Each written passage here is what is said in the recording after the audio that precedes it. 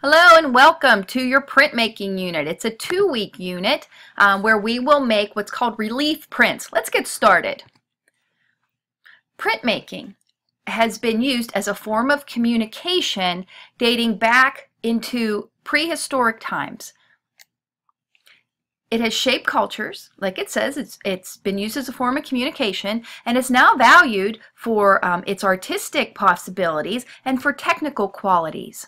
Okay, like I said, rooted in prehistoric times. How so? Well, look at this. Humans in 15,000 BC in the caves of Lascaux, France, or even earlier in the caves of Altamira, Spain, they placed their hands on the cave walls and blew pigment coloration over top of them, creating, in effect, a stencil over and over and over again. They're really the first prints. As early as 500 BC, Sumerians carved images on cylinder seals, as you can see here on the left, and then they rolled those cylinders into clay, creating a low relief, creating a print. Chinese scholars as early as 200 AD, they found that printing could occur on paper and silk. The development of paper really enabled printmaking to take off. It was economical, um, it was well suited to accept matrices for prints, and the technology became more and more progressive as prints became more widespread throughout not only the Orient, but also Western Europe printmaking flourished as a form of communication because there could be multiple images made from a, a, single matrix or plate.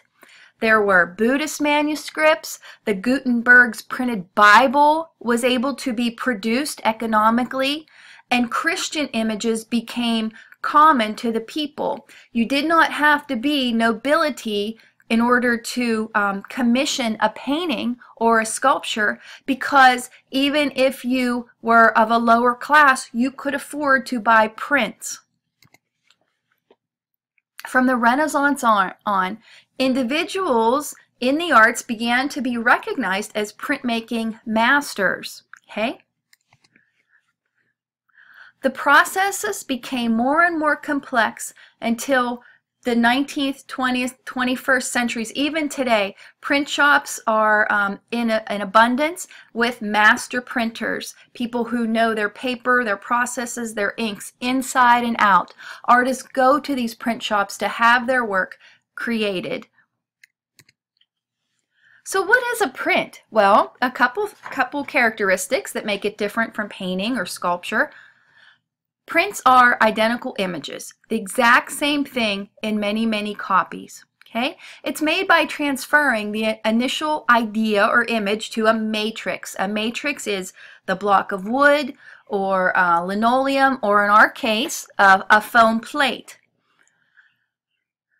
Prints are produced in limited editions for a reason. Okay, limited editions, as you see their characteristics here, signed, numbered, hand printed, collectible, and valuable. Okay, um, if it's not a limited edition, it's not that valuable. Think of your daily newspaper, right? That's all done with a printing plate, but it's not, um, or at least used to be, but it's not um, valuable because it's not a signed numbered edition. Artist prints are different because there is a finite number created by the artist's hand, and they are all signed by that artist.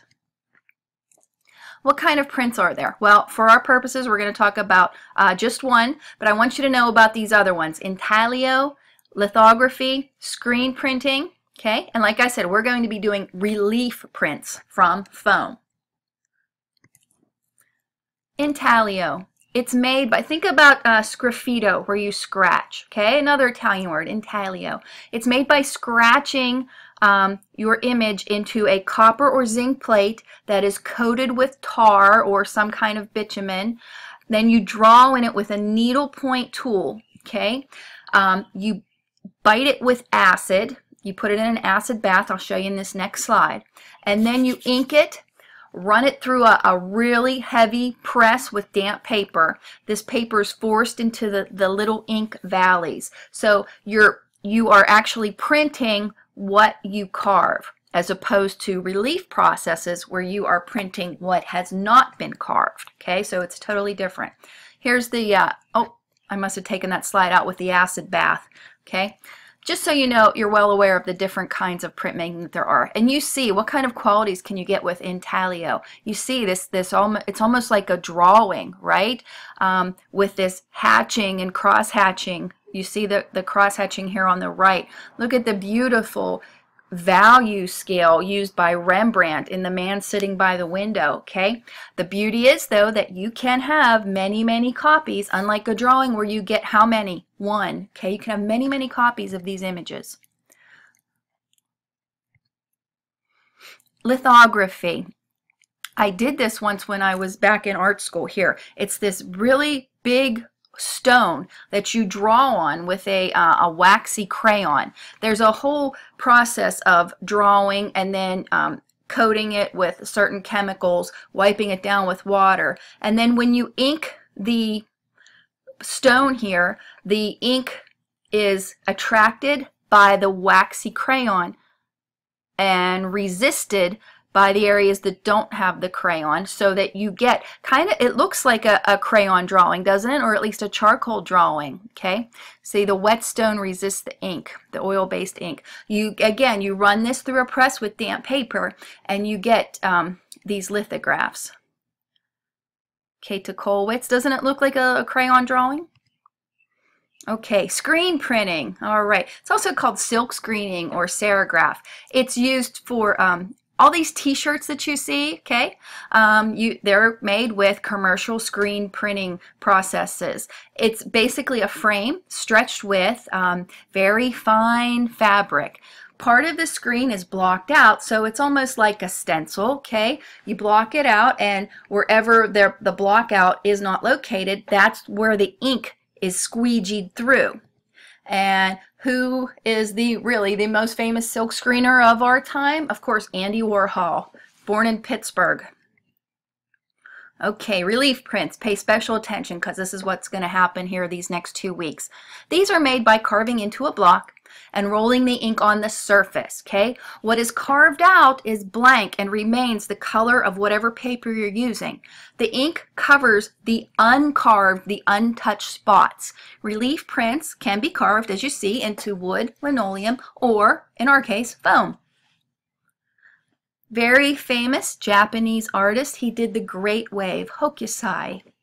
This is a woodcut, okay? A little more difficult than carving into foam, but completely, you know, as really here, let's look at these ones here. This Dürer, Albrecht Dürer, German artist. He was really German's answer to Leonardo da Vinci. This is a woodcut. Look at this extraordinarily fine detail he got by carving into a block of wood, inking the surface, running it through a press, and what prints is what has remained. So all these white areas that you see and all the spaces between the hatching that you see, that has all been carved out by Dürer. Oh, just take a minute and appreciate this, okay? What makes this image so incredibly powerful? Okay? If you said that direction of line Okay, these radiating lines that come out of the center, like right where the bridge of this person's nose would be, you are absolutely correct in my opinion. A good print is going to have different direction of line, different line weights, that's a line thickness, okay? It's going to balance your lights and your dark. This is, all i mean, if you would break this down, it's almost 50-50, isn't it? Maybe 40-60 light to dark, but still, it's a good balance. It's not too dark. It's not too light. Okay. When you do your foam plate print, it should be, um, you should work these plates, you know, more than just a single, you know, uh, consistent line. It should have a different kind of lines, different kind of directions. And textures, of course, can be created by including um, patterns and varying your lines. And that's all we have here. So I hope you enjoyed that, um, that presentation. Let's get started here with how to create a foam plate. Thank you very much.